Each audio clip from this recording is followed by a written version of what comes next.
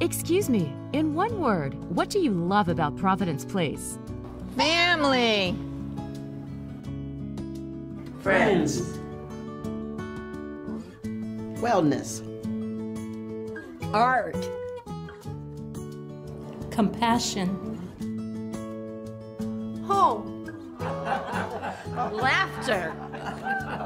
No matter what community means to you, you'll find it at Providence Place in Holyoke. Coming up on this edition of Real to Reel. I'm Steve Kiltonic in Westfield, where St. Mary's High School dedicated its chapel to the first U.S. born priest and martyr to be beatified. Nick Morganelli has the story of two UMass hockey players who are on fire with their faith. And Mark Giza has some family friendly movies perfect for school vacation week. These stories and more are just ahead on this edition of Real to Reel.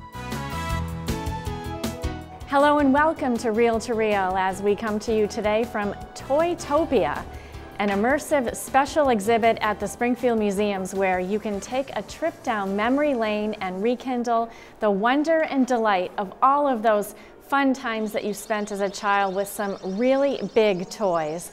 This exhibit is just in time for school vacation week we will talk to Maggie Humberston, the curator here from the Springfield Museums in just a bit. But first, UMass hockey is fire on ice right now, and two players have the fire of the Holy Spirit as well. Nick Morganelli caught up with them and their coach, Greg Carvel, on the Amherst campus where they discussed their faith and the team's 2019 success.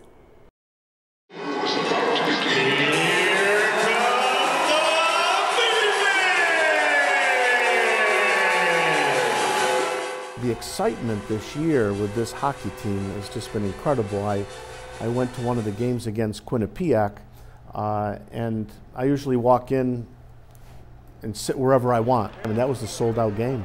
The largest attendance in the Mullins Center for a sporting event.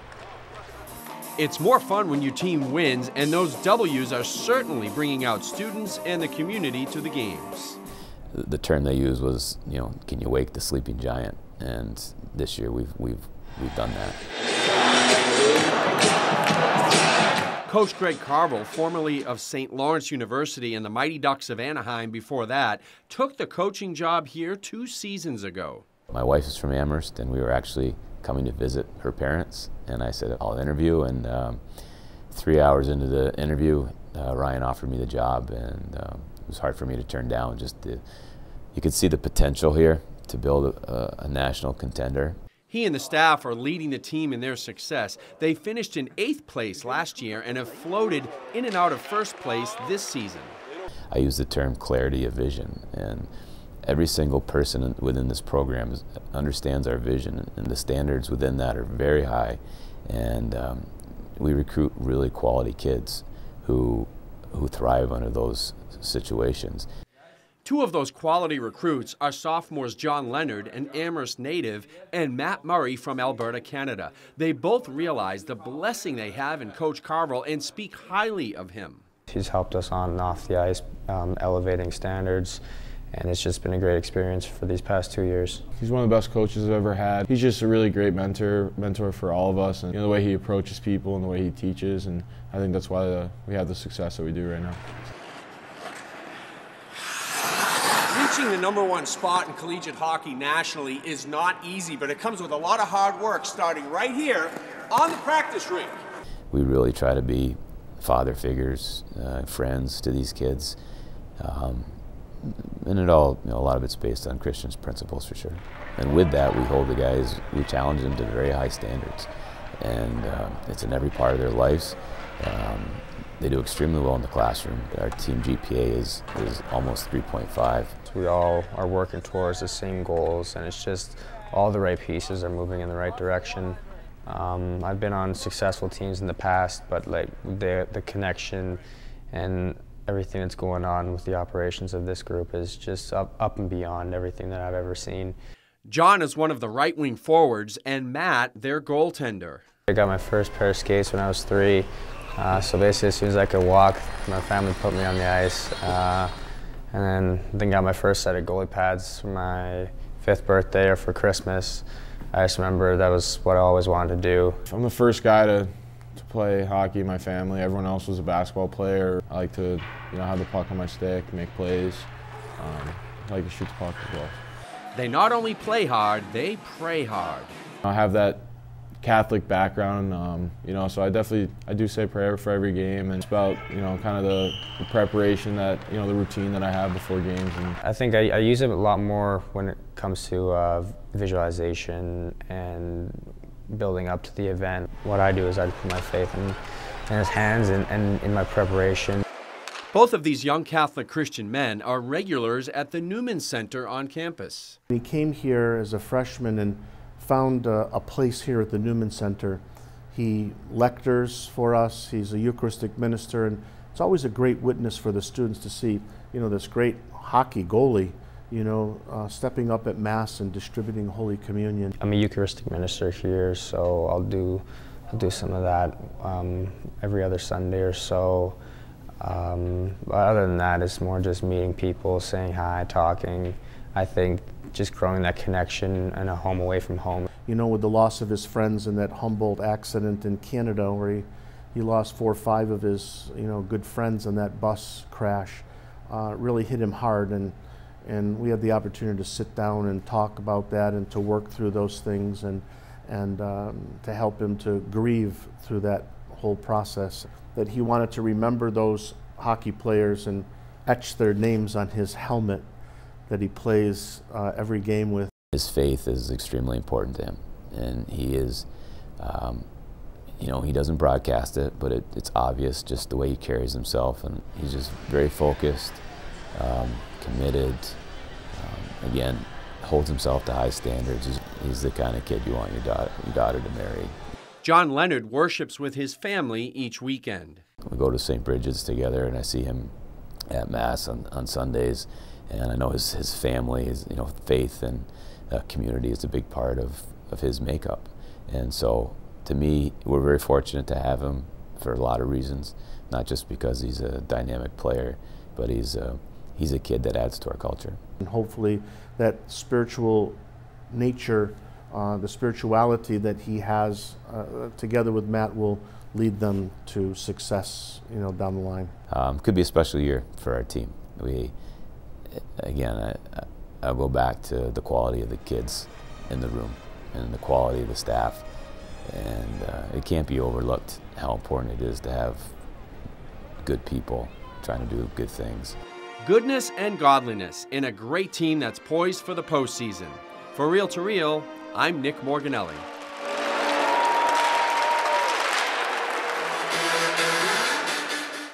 Joining me now here is Maggie Humberston, Curator of History at the Springfield Museums, to tell us more about this really big and really fun exhibit, Toytopia. Great. Hi, Sharon. Welcome. Thank you. This is a fabulous exhibit. It's been with us about a month and it's big fun for everybody.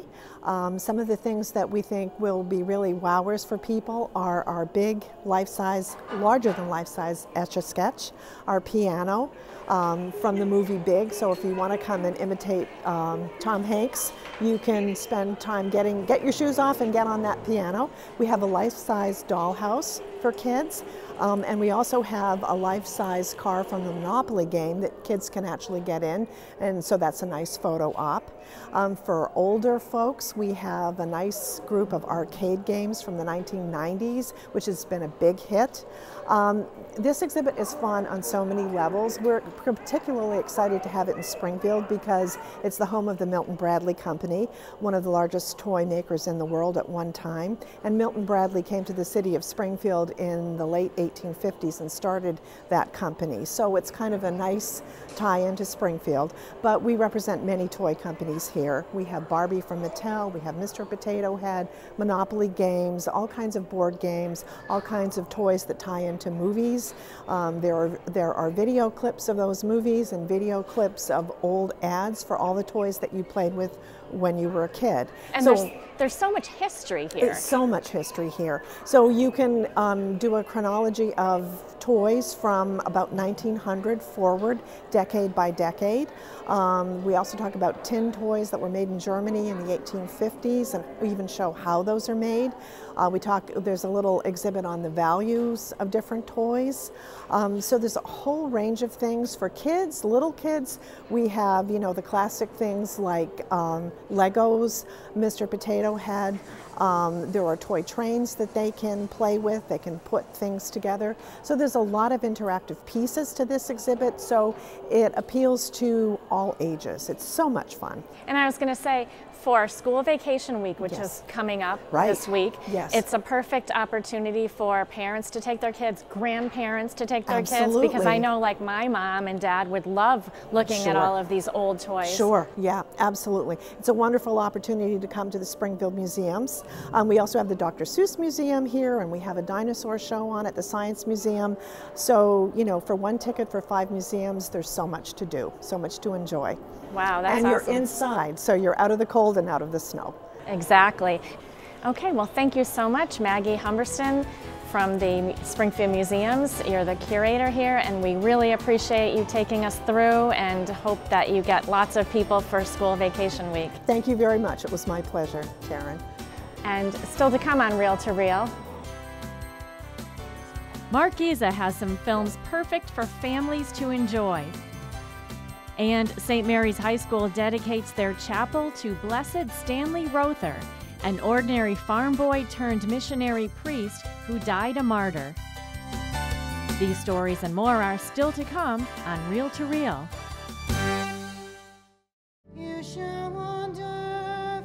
The Chalice of Salvation, your weekly spiritual connection. I'm Passionist Brother Terrence Gale and your Chalice host, inviting you to take time out of your busy days and join us Sunday morning. We welcome Father Warren Savage as our presider and celebrate the sixth Sunday of Ordinary Time. The Chalice of Salvation, Sunday mornings at 10 on 22 News WWLP, and coming up next on Albany's Fox 23 WXXA. Excuse me, in one word, what do you love about Providence Place? Family. Friends. Wellness. Art. compassion, Home. Laughter. No matter what community means to you, you'll find it at Providence Place in Holyoke. Travel with Catholic Communications in August 2020 for the pilgrimage of the decade as we experience the Oberammergau Passion Play.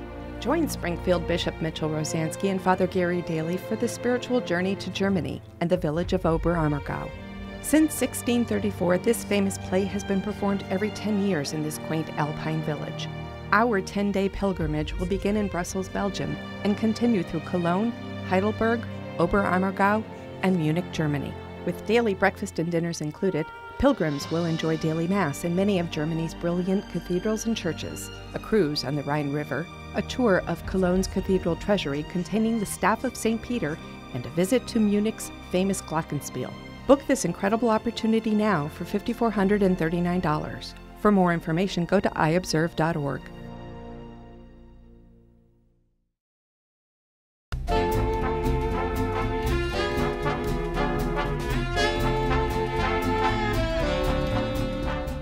Looking for a perfect family film? Here are some of my personal choices that will warm your family's hearts. The Lego Movie 2.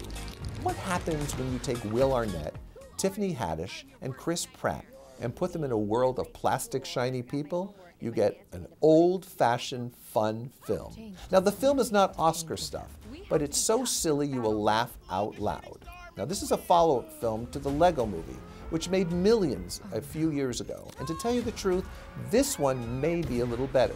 The story is a silly plot about a queen and a Batman character and a mission to take over this crazy plastic world.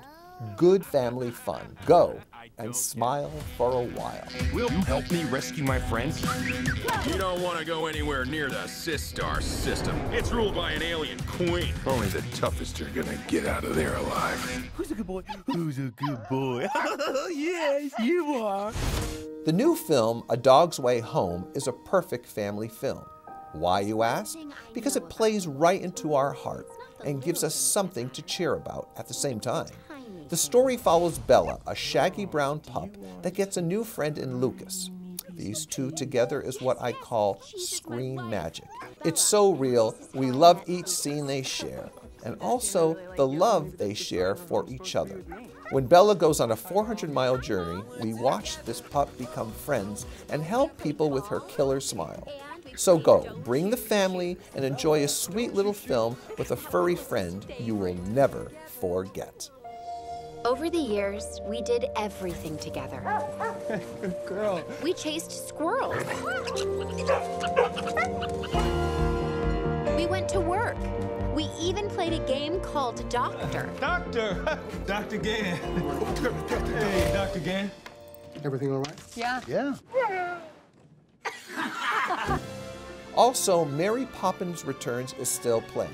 Though I found the film bloated with a lousy score, some people think it was just fun. The best part was watching Dick Van Dyke at 92.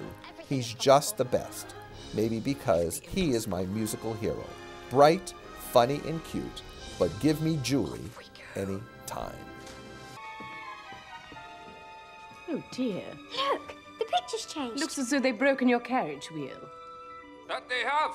It's useless now. Useless as a chocolate teapot. The board is speaking. Fix the carriage wheel. It isn't possible. Everything is possible.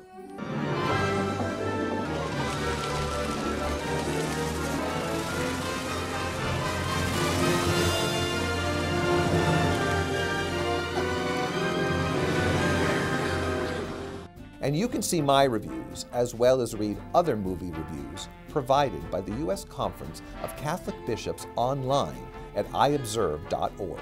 That's iobserve.org.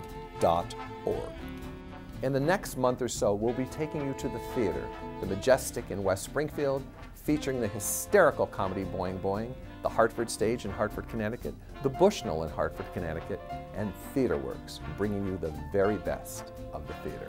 I'm Mark Giza. Have a fabulous weekend, and we'll see you next time on Real Culture.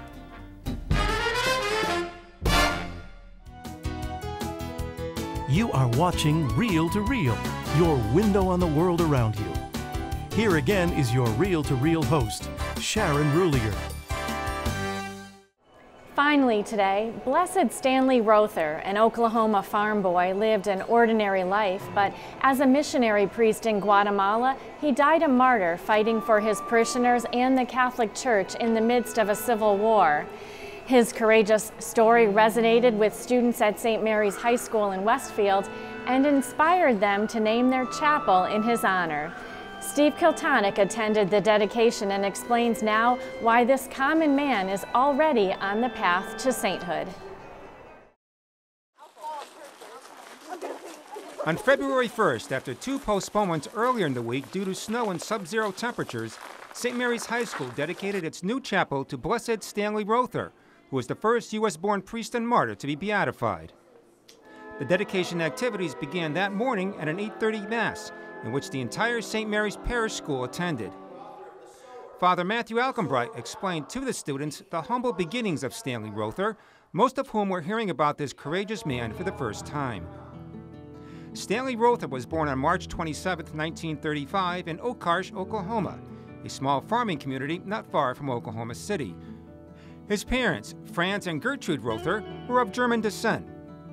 For Stanley and his three siblings, their lives centered on three things faith, family, and farming. In high school, Stanley played basketball, was involved in drama, and his senior year was elected president of the Future Farmers of America. After graduation, everyone expected him to continue farming as a vocation, but he had other plans to become a priest. During the five years he spent at St. John's Seminary, Stanley struggled in academics, especially Latin. After he flunked his first year of theology, Stanley was sent home.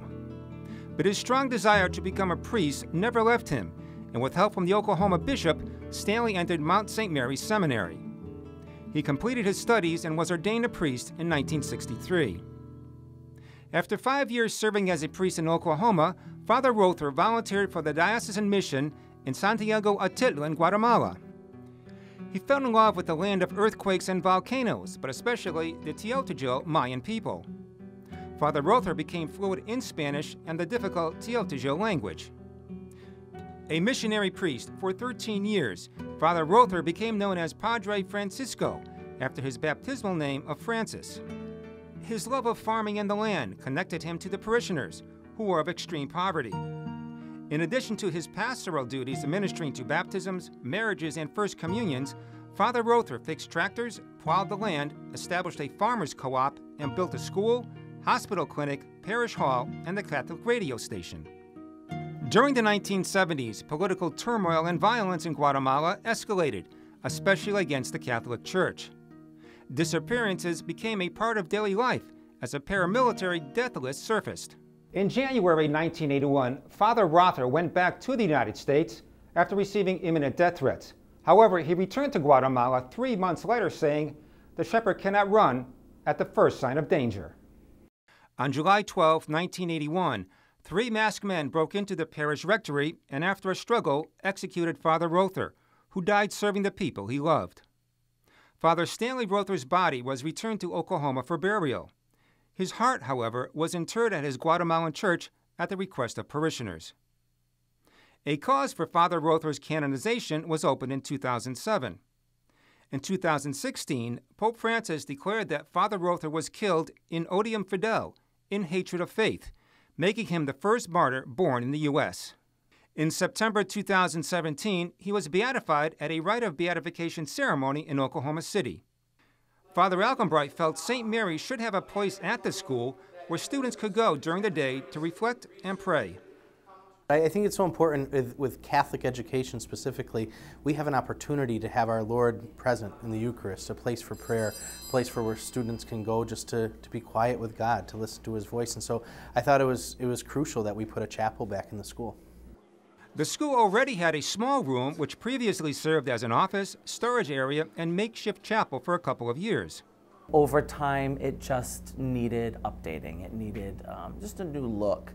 Um, and it needed an opportunity for students to be more aware that it exists. Father Matt challenged students to choose a patron for the chapel. It's their chapel, so they should be able to, to pick the patron they want, the patron that speaks to them, and, and, a, a life that, that is encouraging and, you know, and influential to them. Students researched saints and others to come up with an appropriate individual. From a list of 24 names, four finalists were chosen. St. Pope John Paul II, Mother Teresa, Blessed Pier Giorgio Frassati, and Blessed Stanley Rother. In the end, Blessed Rother received the most votes from the student body. I liked how he went back to Guatemala. He would not abandon his people. And also, he was a farm boy like myself. So I, I just kind of connected to him a little bit. His never ending faith, he would, he would not back down to uh, oppression. And especially in today's world where you got you got to keep your fortitude. I think that the most important part is that we have someone who's just like us, who's very common, who most people don't know about. After listening and learning about his story, it kind of inspired me to be more like courageous and have that faith and have God back me up. One of the things that we talked about with the students a lot was his talents. He was a talented farmer. He was a talented outdoorsman. And he used that in his ministry. So he took what he was naturally good at, what he naturally loved, and he made it a part of his life. He was able to see that God was calling him to something more than what he imagined for himself.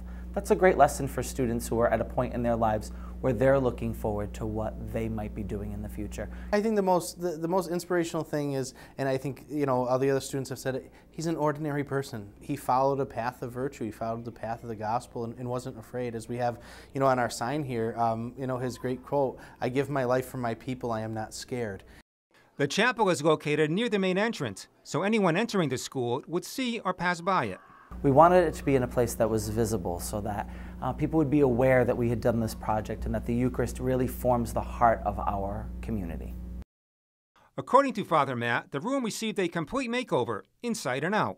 we really cleaned this whole area up. We painted the walls and uh, painted the room over. We did, we rewired electrical so there's not electrical sockets in the walls. And the tabernacle, we found. It was a re, you know, just a tabernacle that hadn't been used, and our sacristans like buffed it up with, you know, uh, cleaners and stuff like that to make it really look nice. We acquired the icon of Stanley Rother, and next to the icon is the relic of Stanley Rother. That's a first-class relic, so it's a it's a piece of bone from his body. On the other side of the chapel, we have the image of Our Lady of the Rosary. Uh, she's one of the great Marian devotions of the people of Guatemala. And then, of course, most importantly, we have the Blessed Sacrament there, right in the center. Uh, you know, the tabernacle with the, the beautiful crucifix above it. The chapel altar was already in place. Panel doors were added for privacy. LePage wrote Blessed Rother's biography, which appears on the outside walls of the chapel, and selected the pictures that tell his life story. Blessed Rother's younger sister, Sister Marita Rother, also entered religious life. She belongs to the Adorers of the Blood of Christ congregation in Kansas. Father Matt emailed her community informing her of the chapel and explaining some of the history of Westfield and St. Mary's. Sister Marita called Father Matt a few days after Thanksgiving.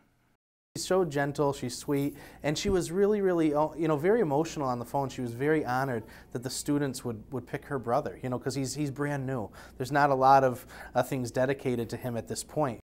Sister Marita wrote a letter to the students, which is displayed in a frame outside the chapel. She didn't write to you know the faculty or to me uh, or to the community, you know the broader community of Westfield. She wrote to the students because this is their chapel, and they were the ones who selected her brother. After the Mass, the dedication continued as students walked over to the high school and assembled in the school gymnasium. Father Matt read the letter from Sister Marita.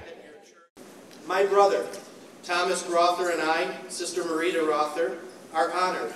We're grateful and we're appreciative that you have selected Blessed Stanley Rother, our older brother, to be the patron of the new chapel in your school. Father Matt led the students in prayer for the cause of the canonization of Blessed Stanley Rother. A prayer of dedication was recited before blessing the chapel. Blessed Stanley's next step is sainthood. For this to happen, a miracle is required through his intercession, which must take place after the day of beatification. Until then, may Blessed Stanley Rother continue to shine a light for our youth, an ordinary person who wasn't afraid to live an extraordinary life. For Real to Reel, I'm Steve Kiltonick. To honor its native son, the Archdiocese of Oklahoma plans to construct a $39 million Blessed Stanley Rother Shrine that will serve as his final resting place. Once built, the 6,000 square foot shrine complex will include a 2,000 seat church, a chapel, classrooms, indoor and outdoor ministry facilities, as well as a museum. That should be pretty impressive. And for this week, that's Real to Reel. We really want to thank the Springfield Museums for hosting our visit today. And if you have any children who will be off this week on school vacation, it would be a really great day trip. With five museums, there's definitely something for everyone. And again, we have a link at iobserve.org with all the details on Toytopia and all of the museums here at the Quadrangle in Springfield. And with St. Patrick's Day now just a month away, it's time to celebrate. The Sisters of St. Joseph of Springfield will host their annual Irish Gala next Sunday, February 24th from 1 to 5 p.m. at the Castle of Knights Memorial Drive in Chicopee. The fundraiser will include dancing, raffles, food, warm corned beef sandwiches, a cash bar, and music by the Andy Healy Band with Mary Ward. Proceeds will benefit the Sisters of St. Joseph and tickets are $25 per person and are available at the Sisters of St. Joseph congregational offices at 577 Carew Street in Springfield during normal business hours or you can contact Sister Harrington at 413 536 0853 or eharrington at ssjspringfield.com. And remember, you can also find updates anytime as well as information and news on the Catholic Church at iobserve.org. We also update our Facebook daily with news of what our reporters are working on. Check us out and friend us at Catholic Communications. See you next time for another edition of Real to Reel, your window on the world around you. Real to Reel is a production of the Catholic Communications Corporation, funded in part by the annual Catholic Appeal and the support of you, our faithful viewers.